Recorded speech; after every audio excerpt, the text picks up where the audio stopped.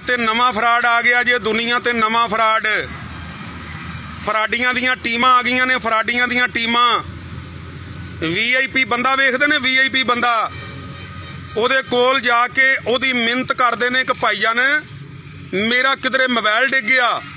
ਆ ਮੇਰੇ ਨੰਬਰ ਤੇ ਜ਼ਰਾ ਕਾਲ ਕਰਨਾ। ਇਹ ਵੇਖਣਾ ਮੇਰਾ ਨੰਬਰ ਚੱਲਦਾ ਜਾਂ ਨਹੀਂ ਚੱਲਦਾ। ਉਹ ਬੰਦਾ ਉਹਦੇ ਨੰਬਰ ਤੇ ਕਾਲ ਕਰਦਾ ਬੈਲ ਜਾਂਦੀ ਹੈ। ਇੱਕ ਕਾਲ ਅਗਲਾ ਬੰਦਾ ਨਹੀਂ ਚੁੱਕਦਾ, ਦੂਜੀ ਕਾਲ ਚੁੱਕ ਲੈਂਦਾ ਉਹ ਕਹਿੰਦਾ, ਹਾਂਜੀ, ਦੱਸੋ। ਕਹਿੰਦਾ, ਯਾਰ, ਮੇਰੇ ਕੋਲ ਆ ਬੰਦਾ ਆਇਆ, ਇਹਦਾ ਮੋਬਾਈਲ ਡਿੱਗਿਆ ਉਹ ਕਹਿੰਦਾ, ਇਸ ਬੰਦੇ ਨਾਲ ਗੱਲ ਕਰਾਈ, ਦੋਵੇਂ ਮਿਕਸ ਹੁੰਦੇ ਨੇ।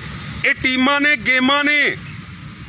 ਉਹ ਜਦੋਂ ਗੱਲ ਕਰਦਾ ਹੈ ਨਾ, ਉਹ ਕਹਿੰਦਾ, ਹੈਲੋ ਹੈਲੋ ਹੈਲੋ ਹੈਲੋ।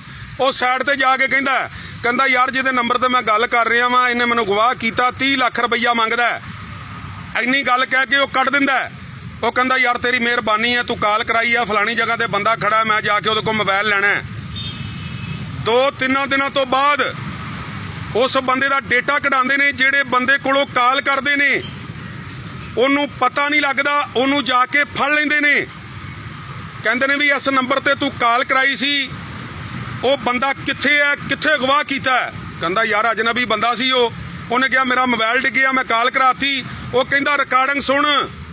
ਉਸ ਬੰਦੇ ਨੇ ਗੱਲ ਕੀਤੀ ਸੀ, ਮੈਨੂੰ ਇਹਨੇ ਅਗਵਾ ਕੀਤਾ ਇਹ 30 ਲੱਖ ਰੁਪਈਆ ਮੰਗਦਾ ਹੈ। ਦੱਸ ਉਹ ਬੰਦਾ ਕਿੱਥੇ ਹੀ ਡੇਟਾ ਕਢਾ ਕੇ ਬੰਦੇ ਨੂੰ ਫੜ ਲੈਂਦੇ ਨੇ। ਉਸ ਬੰਦੇ ਤੇ ਪਰਚਾ ਕਰਾਉਂਦੇ ਨੇ। ਬਲੈਕਮੇਲ ਕਰਕੇ ਉਹਦੇ ਕੋਲ ਪੈਸੇ ਕਢਾਉਂਦੇ ਨੇ। ਜਿਹੜਾ ਭਾਈਆਂ ਤੁਹਾਡੇ ਕੋਲ ਬੰਦਾ ਆ ਕੇ ਗੱਲ ਕਵੇ, ਯਾਰ ਮੇਰਾ ਕਿਧਰੇ ਮੋਬਾਈਲ ਡਿੱਗ ਗਿਆ। ਇਸ ਮੋਬਾਈਲ ਤੇ ਕਾਲ ਕਰਨਾ, ਕਾਲ ਜਾਂਦੀ ਕਿ ਨਹੀਂ, ਉਹ ਬੰਦਾ ਫਰਾਡੀਆ ਹੋਏਗਾ। ਉਸ ਨੰਬਰ ਤੇ ਕਾਲ ਨਾ ਕਰਿਆ ਜੇ, ਨਹੀਂ ਤਾਂ ਤੁਹਾਨੂੰ ਮੁਸੀਬਤ ਬਣ ਜਾਣੀ, ਤੁਹਾਡਾ ਮਕਾਨ ਵਿਕ ਜਾਣਾ ਜਿਹੜੇ ਪੈਸੇ ਜੋੜੇ ਹੋਏ, ਉਹ ਵੀ ਲੱਗ ਜਾਣੇ ਨੇ। ਫਿਰ ਵੀ ਤੁਹਾਡੀ ਉਹਨਾਂ ਜਾਨ ਨਹੀਂ ਛੱਡਣੀ। ਇਸ ਵੀਡੀਓ ਨੂੰ ਸ਼ੇਅਰ ਕਰ ਦੇਣਾ ਭਾਈਆਂ ਨੇ